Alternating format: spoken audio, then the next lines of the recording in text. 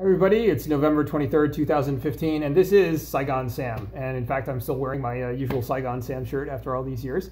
Um, so I, I, just wanted to make this kind of final wrap up video. I probably should have done this many years ago, uh, but I think the channel really deserves this and uh, I should do it sooner rather than later. So without further ado, first of all, I'd like to thank all of you for your comments and your, and your feedback um, over the years. However, um, I, have probably been much less responsive than I should have, but in, in, hindsight, I think that's probably a good thing because, you know, I'm not a representative of Vietnam or any other country. Uh, I'm just a passive observer who will go down in history just as exactly that. And, and I think it's, it's up to you all to argue amongst yourselves about the validity uh, of, of any of the issues I've raised or, or to raise new issues that you think are important uh, relating to Vietnam and, and Southeast Asia in general. Um, and, and so I'm, I'm not going to answer any further questions, but I do encourage you totally to comment and argue vigorously amongst yourselves. Um, but I just wanted to say a few things kind of in, in summary about Vietnam in particular and then about Southeast Asia generally. Um, I, I think that some, some of the common themes that you find um, in, in Southeast Asia um, in general are, are just that you know, there, there's a lot of opportunity, um, both on the cost side, you know, the, the, the, cost of labor, the cost of setting up a business, the, you know, the regulatory overhead is, is, is generally on the low side by international standards. Um, Southeast Asia is generally a pretty safe place to do business. I, I certainly think Vietnam is, although obviously there's, you know, the bribe culture there like there is in, in many places in this world. Um, but I, I, certainly never felt under physical danger uh, in Vietnam at all. Uh, I think it's a, again it's a relatively safe place to live. Um, it's a peaceful place. There's you know great people. I, I can't say uh, enough good things uh, about the population over there. Um, but I, I, think that the biggest challenge that Vietnam faces, like most Southeast Asian nations, frankly, is, is pollution. You know, it's not all their fault. I mean, we all know about the Agent Orange uh, thing, but there's also a lot of industrialization, uh, not not just in Ho Chi Minh City or Hanoi, but but scattered throughout Vietnam.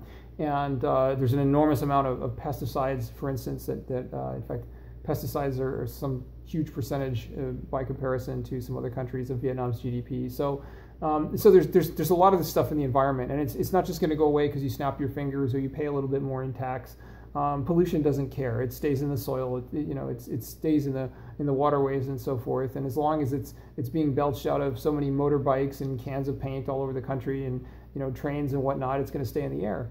Um, and and this is this is a serious problem. You know, what do you do? Do you just basically shut down the transportation system and shut down all the industry? Well, then you don't have an economy, right? So you know, yeah, they could switch to all electric infrastructure at the cost of a trillion dollars, and that's obviously not a solution either. So it's it's a really really difficult position to be in. Um, and the greener you go, you know, the higher your your your operating overhead, right, and the less attractive you are to foreign investors. So I understand that whole trade-off, and it's a very difficult position to be in. But you know, anybody who's living in Vietnam or considering living in Vietnam has to understand that you're walking into a place which uh, has has severe environmental problems. So so yes, you might eat you know quote quote unquote healthy food, right? You could have you know seafood and vegetable soup or something, but but which waters uh, were those fish caught in, right? What were they eating, and what were the fish they were eating eating, right? And and, and were they near industrial sites, and you know what what was in the soil that uh, the farmer you know used to to raise the crops that became your your vegetables and so forth. Um, you don't know. I don't know right? So, and, and with, with lax overhead or, or, or no overhead or no environmental awareness of these issues, um, it can be a problem. And, it, and, it's the kind of problem that is not going to hit you immediately. You're not gonna, you know take a plate of pho and then and then just keel over dead. At least I, I, I, hope not, right? But but it could very well be that you end up with cancer that cuts 20 years off your life or, or some other disease. I mean, you know, we know for instance that there's a direct correlation. Just look on World Health Organization, right? There's a direct correlation between the amount of, of so-called PM10 and PM2.5 pollution and heart disease and dementia and cancer and all this horrible stuff. Um, so you know we need to keep that in mind. Now you know what's the answer to that? You know do you, do you do like I did and basically walk everywhere outside with a gas mask? And by the way, these days there's better gas masks available than I was showing in the video in 2009. You know, but do you, but do you do that? Is that practical? Is that is that a lifestyle you, you want? Uh, probably not. You know, but but what are you gonna do? Are you gonna suck up the diesel fumes? You're gonna clog your lungs? You know, I'll tell you this. I, I live a very healthy lifestyle, very healthy lifestyle. But but even now, I, I just actually had a pulmonary function test and as healthy as I am, my lungs, age-wise, are four years older um, than, than my biological age. And I, I, think a lot of that has to do with the, the pollution, the diesel in particular that I inhaled. you know, and just imagine the people that, and remember, I'm the guy that was wearing the mask, okay? I mean, just imagine the people that aren't wearing the mask. What is it doing to their lungs? What is, what is it doing, you know, it's, it's not just a matter of clogging the lungs, right? It's, it's changing your DNA. It's, it's screwing up your gene expression, right? And it's causing all kinds of funky things to happen in your cells that can manifest as cancer or whatever down the road. We, you know, we have to be aware of this um, when, when we're talking about living in, in, in, a place like, for instance, like Vietnam or, or other parts of Southeast Asia. I mean, I, am not going to lay this all at Vietnam. That's ridiculous. I mean, there's, there's a massive amount of industrialization that's happened over the past 30, 40 years in Southeast Asia. It's everywhere, and it's inescapable. You know, there's basically two choices in Vietnam and Southeast Asia in general. You can either live in a uh, very high-tech, very convenient city, you know, like like uh, Ho Chi Minh City or, or uh, Hanoi or Bangkok for that matter, right, or Kuala Lumpur, and you can have you know every convenience known to man and pretty good medical care and relatively safe place to live and so forth. But you're going to deal with an enormous amount of pollution. Or you can live in a beautiful place, um, you know, like way out in the in the boonies in Thailand, or, uh, you know, in the jungle or something, and, and you'll have a perfectly healthy life, but there will be no infrastructure. You know, there'll be no hospitals. There'll be there'll be no you know bookstores or anything. Right, so, so what are you going to do? You're going to have to decide. There's, there's, there's a trade-off there, and, and you need to be aware of it. Um, you know, technology is available to solve these problems, but it's a question of how much do you want to spend and, and how much how much are, are, are, you willing to sacrifice in terms of quality of life because you have to worry about all these technological interfaces that protect you from all of this junk, right? I mean, who even knows what's in the tap water? I, I have no clue, right? And, and, and, and a lot of this is, is really just a, a matter of ignorance. It's not, it's not that people are trying to kill you, right?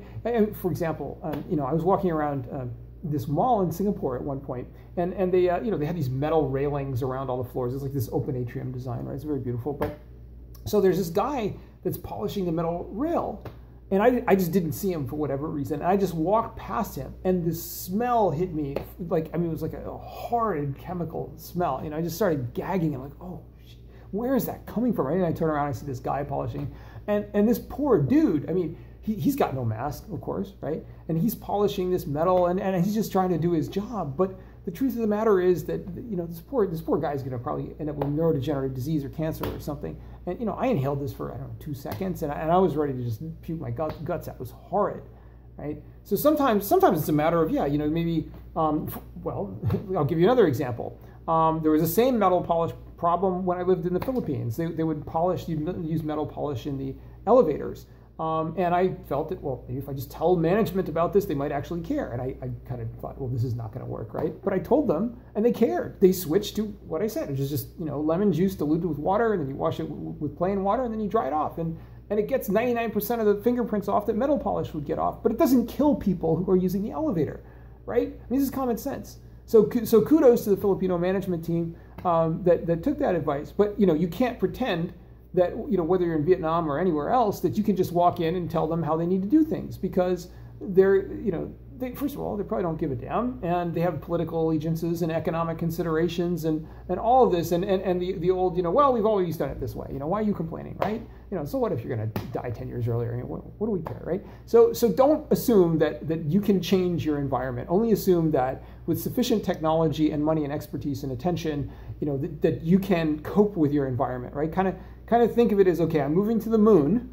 Um, there, gravity is there, um, but you know, there's a few things that I need to live that, that are not available there, and I need to I need to be aware of this, and I need to bring some extra uh, extra machinery to, to help me survive. You know, and, and to what extent are you willing to, to do that in exchange uh, for living in such a, a fascinating and exciting place? I mean, that's obviously up to you. Now, yeah, if you can hook yourself up with a super high-paying, you know, job, like for example in Singapore or Hong Kong, most notably, right?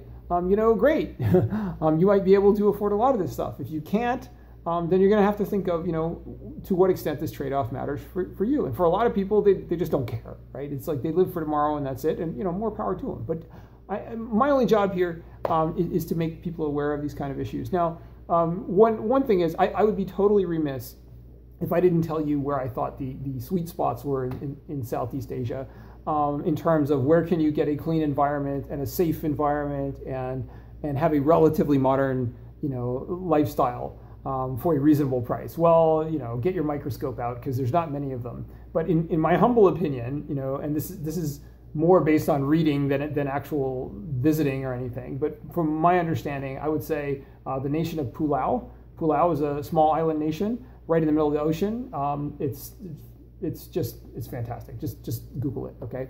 Um, another one would be the city of Aurora, which is very forward thinking, very green thinking. It's on the island of Luzon in the Philippines. Okay. Um, the other place I would definitely definitely uh, suggest you check out is Palawan, Palawan or Palawan, depending on how you want to say it, is in is a huge island uh, with a lot of coral reefs in the southwest Philippines. Um, definitely definitely worth checking out. But do not pollute these places. Do not leave your foreigner you know beer bottles and plastic crap all over the beach because because I'll kick your ass if you do. So don't do that. Don't pollute these places. They're they're they're charms, right? They're they're gems. I think that's the right word. But um, even places like Bali, I mean, I, I, think Bali is culturally stunning. I think it's spectacular. I mean, you know, what, what words could could possibly be adequate to describe Bali, right? It's so eclectic, it's so rich, it's it's so artistically deep. Um, but you know, I, there again, I had a friend who who visited Bali uh, basically, you know, a few months ago, and he told me, look, you know, I'm, I'm sorry to tell you this, but unless you're at the beach or you're inside the hotel, it's like diesel fumes everywhere. Don't bother coming and that's so sad because there's there's you know has so much to offer and there's so much you know there's a great organic food there for instance.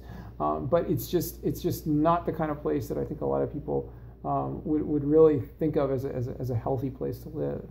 Um, so so that's that's kind of that's kind of the essence of my message. But I you know I don't want you know, to sound like pollution should govern everybody's life decision about any everything. It's just unfortunately it's a very huge and significant issue, and I could go on and on and on about all the times that that I just totally gagged because you know.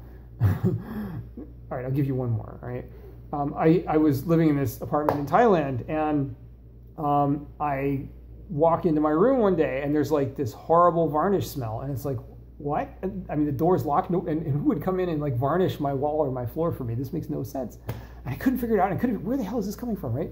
Well, turns out that the air conditioner in my unit was mounted in the same place as the air conditioner of my neighbor's unit, and the varnish being poured, like poured, in my neighbor's uh, condo was leaking through the aircon system into into my room. So so seriously, I mean I have to have a gas mask, you know, hooked on the wall at home. So in an emergency, when some idiot decides to slime me with toxins, I can grab that mask and throw it on, you know.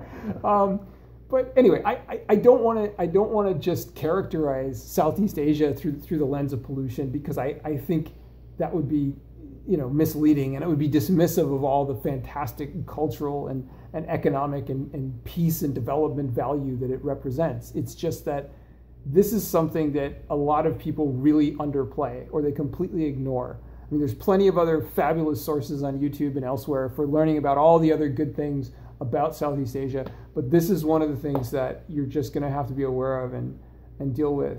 But again, I, I, I, think that you know the place in history for this channel is basically for you all to argue and scream and yell about everything I've said, um, and and also to come up with new ways of, of dealing with the problems that that all of us face, whether whether we're citizens of Southeast Asia or, or we're visitors, you know, and and to to come up with better approaches um, to dealing with these issues. But um, anyway, I, th- I, thank you all for uh, for your time and uh, for your opinions, good and bad, because because when we share, we we just enrich everyone's lives and we enrich knowledge, and, and that's always a good thing.